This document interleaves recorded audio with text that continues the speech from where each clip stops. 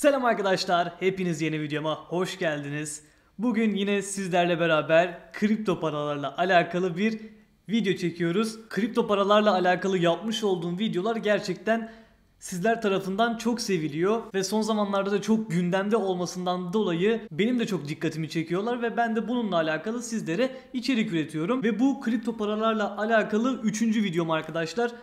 Bu videoda neyden bahsedeceğiz? Başlıkta zaten görmüş olduğunuz gibi benim uzun vadede yükselmesini beklediğim ve yatırım yaptığım coinler hakkında konuşacağız. Videoya geçmeden önce şunu söylemek zorundayım arkadaşlar.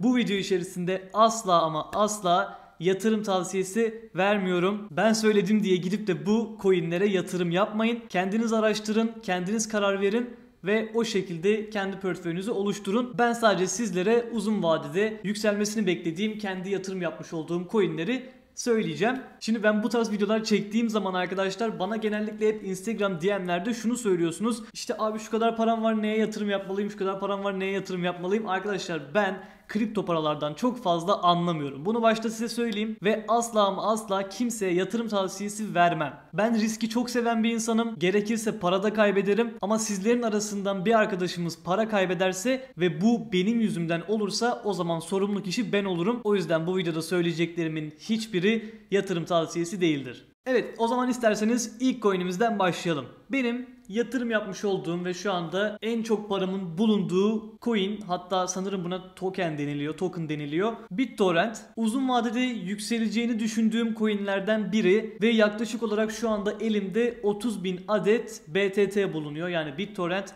token bulunuyor. Uzun vadeden kastım bu arada arkadaşlar 2021'in sonuna kadar yani 2021'in sonuna kadar ben bu coinleri bu tokenları asla ama asla satmayı düşünmüyorum. Şimdi öncelikle paramın çoğu neden BitTorrent'te? Çünkü biraz araştırdığım zaman fiyatları benzeyen diğer coinlerden daha kaliteli ve daha çok gelecek vadeden bir coin olduğunu düşünüyorum. Bir token olduğunu düşünüyorum. Ve hala fiyatının çok çok düşük olması beni birazcık da cezbetti diyebilirim. Ve o yüzden şu anda 30 bin adet BTT'ye sahibim. Gelelim diğer coin'imize. Diğer coin'imiz de arkadaşlar TRX yani Tron. Tron'u geçen yıldan beri takip ediyorum arkadaşlar ve gerçekten e, grafiğini hiç bozmayan ve yükselişini istikrarlı bir şekilde devam ettiren coinlerden bir tanesi. Hatta yanlış hatırlamıyorsam daha 5-6 ay öncesine kadar arkadaşlar bu coin 10 kuruştu ve şu anda e, 1 liradan daha yüksek bir fiyatta. Yani ara sıra böyle ufak tefek tabii ki çakılmalar, düşmeler oluyor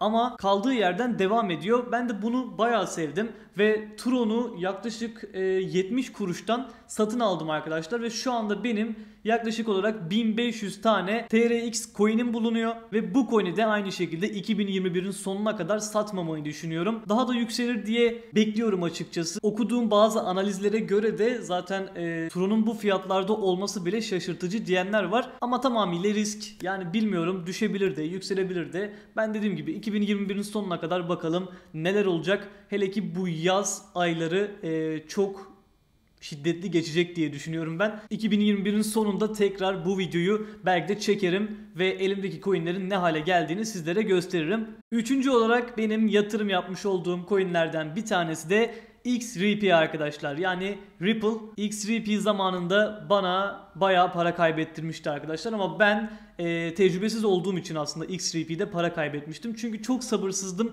ve düşer düşmez paramı bozmuştum ve bu yüzden aslında bayağı bir bana zararı olmuştu. Tekrar girip girmemek arasında kalmıştım ama XRP'ye yine e, güvenmeye başladım. Çünkü biliyorsunuz XRP'nin davası vardı arkadaşlar ve bu dava XRP'nin lehine sonuçlandı ya da sonuçlanıyor diyebiliriz. 1,5 liraya kadar düştü XRP arkadaşlar ve daha sonradan 14-15 e, TL'leri gördü. Şu anda da yaklaşık 11,5 TL civarında olması lazım. Ben de geçen günlerde aldım aslında bu XRP portföyüme daha geçen günlerde ekledim. E, fiyatı 10.7 idi yani 10.7 TL'den aldım arkadaşlar ve şu anda da e, 80 tane XRP sahibiyim. Bunu da belki ilerleyen vakitlerde arttırabilirim ama arttırmamayı düşünüyorum aslında. Yine 2021'in sonuna kadar e, bekleteceğim coinlerden bir tanesi de Ripple. Ve gelelim son coinimize.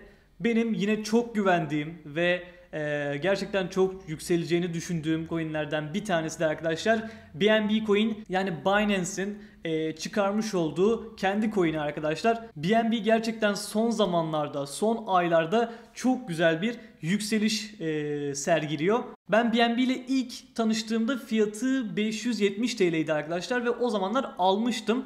Daha sonradan 809 TL'den bozmuştum ama bozduğuma çok pişman oldum. Çünkü şu anda BNB'nin fiyatı 4300 TL civarında arkadaşlar. Gerçekten müthiş bir yükseliş sergiledi. Dediğim gibi BNB de bence e, 2021'in sonlarına doğru e, yükselir diye düşünüyorum. Yani şu anda gidişat o şekilde e, gidişat onu gösteriyor. Ama tabii ki net bir şey biz de bilmiyoruz. Söyleyemeyiz. Ama belki şunu söyleyebilirim. BNB'nin kullanım alanları çok daha fazla yayılacak diye düşünüyorum ben. Ve çok daha geliştirilecektir. Ne kadar BNB'ye sahibim onu da söyleyeyim.